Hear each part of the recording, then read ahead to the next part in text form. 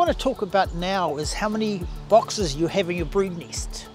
Now historically, and uh, history I mean before about 2006, almost every hive in the country had a two box brood nest. Um, and the reason for that was that it was easy to manage and honey prices were really low at that time. So a lot of beekeepers were overwintering hives on honey, so you needed two boxes for that. Um, but somewhere around about 2006 with the increase in honey prices, people moved over to a one box brood nest. And what I want to talk about are those the pluses and minuses of both sorts of management. So a one box brood nest has the advantages you don't need as much equipment of course. You've only got one brood box for each hive, so just brood boxes and honey boxes. Where two supers, you've just got an extra box in there.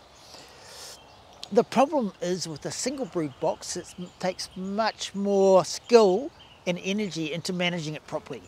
Because anything you do in that spring period where the queen doesn't have enough room to lay may decrease the total population of bees and it may decrease your honey production. So, for instance, an example, like if you're going to want to feed a lot of sugar syrup, they may just pack out that brood nest and slow down honey production. And even having a two frame feeder, one like this, inside your um, brood nest, that's only two frames you don't have in there. And again, the queen can be restricted in amount it, amount it can lay. Um, so you're going to have to take this feeder out at some stage, and then you may still need to feed them, so you'll have to use a top feeder.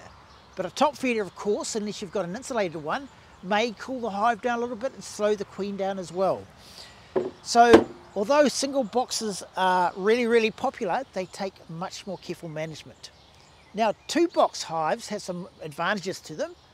There's no restrictions on the queen because she's got whole two boxes to lay through and she can't possibly lay that much out, which she can in a single box. There's less labour required because you don't have all that careful management to make sure the queen's got all, more space.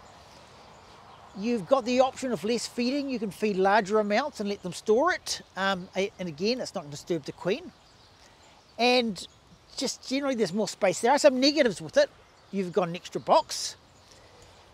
The second one is you're probably going to have to overwinter in one box. Most people do.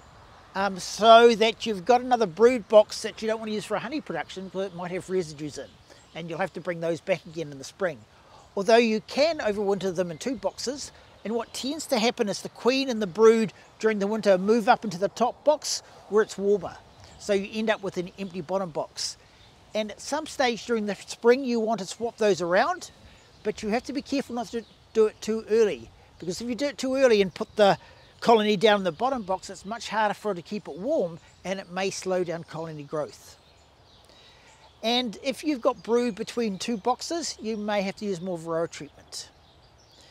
So if you want to however, if you want to do the approach of minimum hive numbers and maximum management, then a single brood box is, is probably the way to go.